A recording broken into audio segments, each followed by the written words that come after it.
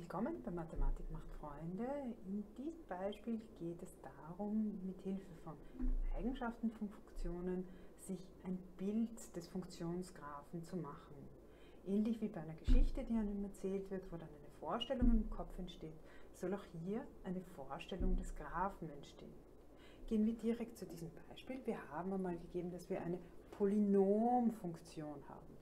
Die geht vom Intervall minus 3, 3 nach R und hat eben folgende Eigenschaften. Der Graph der Funktion f ist symmetrisch bezüglich der senkrechten Achse hier. Das heißt, wenn wir hier die Symmetrie haben, reicht es uns eigentlich, die Funktion in dem positiven Bereich von 0 bis 3 zu zeichnen. Und dann können wir spiegeln und praktisch die Funktion im negativen Bereich zeichnen. Die zweite Eigenschaft, die uns gegeben ist, ist, dass die Funktion im Punkt 2,1 ein lokales Minimum hat. Das heißt, wir können uns gleich diesen Punkt 2,1 einzeichnen.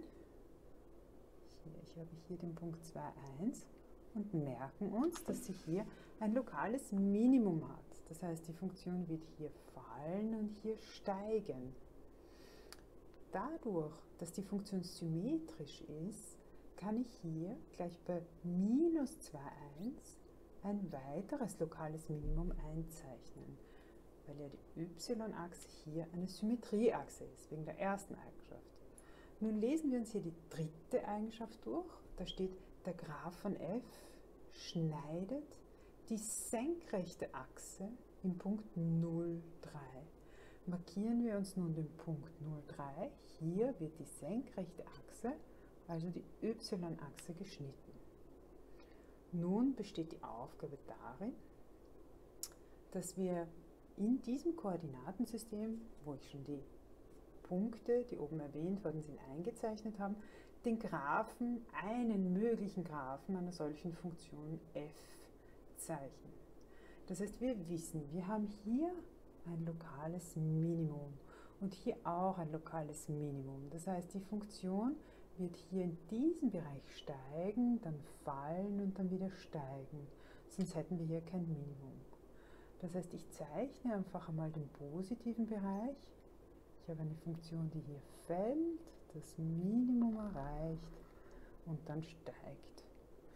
Und genau die gleiche Funktion hier auf dieser Seite, dieser gleiche Teil soll auf der anderen Seite hier gespiegelt werden. Erreiche das Minimum und auf der anderen Seite, also hier fällt die Funktion steigt, bis hier den Punkt 0,3 erreicht, fällt wieder und steigt. Die beiden Punkte hier minus 3, bei der Stelle minus 3 und bei der Stelle 3 müssen auch die gleiche Höhe haben, damit die Funktion auch wirklich entlang der y-Achse gespiegelt ist. Das heißt, wir sehen, anhand von diesen drei Eigenschaften, die uns genannt worden sind, können wir uns schon eine Vorstellung des Graphen machen und schon den Graphen zeichnen. Ich wünsche noch viel Spaß beim Üben und Zeichnen von Funktionsgraphen.